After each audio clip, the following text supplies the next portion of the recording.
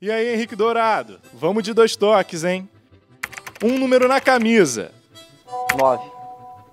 Ídolo na infância. Ronaldo.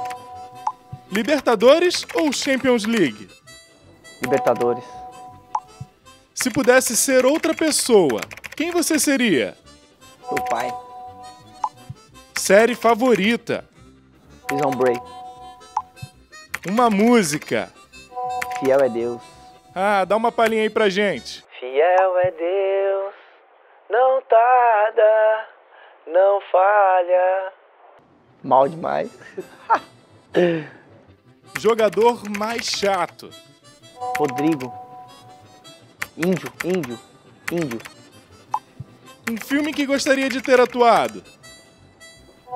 Ele é eterno.